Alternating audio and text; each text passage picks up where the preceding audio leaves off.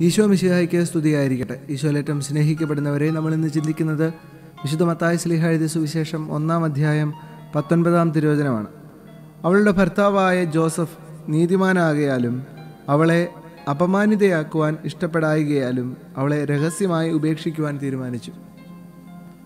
ക്രിസ്മസിന്റെ പുലരികൾ നമ്മോട് പറയുന്ന ഒരു വലിയ സന്ദേശമാണ് ഈ വാക്യത്തിലുള്ളത്.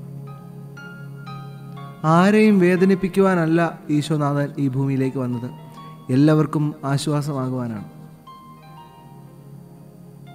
യൗസേ പിതാവിൽ നിന്നും യേശുവിന്റെ ജീവിതത്തിലേക്ക് പകർന്നു നൽകപ്പെട്ട ആ വലിയ മാതൃക ഇത് തന്നെയായിരുന്നു.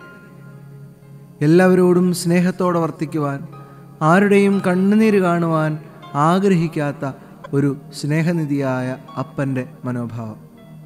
പ്രിയപ്പെട്ടവരെ നമ്മുടെയൊക്കെ ജീവിതത്തിൽ ഈ ക്രിസ്മസിന്റെ ഒരുക്കങ്ങളുടെ ദിവസങ്ങളിലൂടെ കടന്നു പോകുമ്പോൾ നമ്മളും ആഗ്രഹിക്കുകയും പ്രാർത്ഥിക്കുകയും ചെയ്യേണ്ടത് ഇതാണ്. ആരുടെയും കണ്ണു നനയുവാൻ ഇടയാകാത്ത രീതിയിൽ പ്രവർത്തിക്കുവാനും ജീവിക്കുവാനുമുള്ള കൃപ തമ്പുരാനെ എന്നിൽ നൽകണമേ എന്ന്.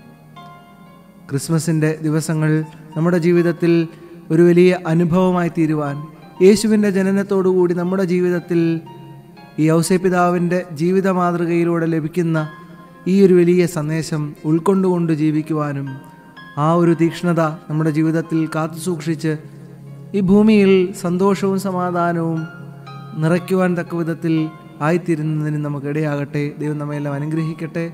ഏവർക്കും നല്ലൊരു ദിവസം ആശംസിക്കുന്നു. പിതാവിന്റെയും പുത്രന്റെയും പരിശുദ്ധ റുഹായുടെയും തിരുനാമത്തിൽ. ആമേൻ.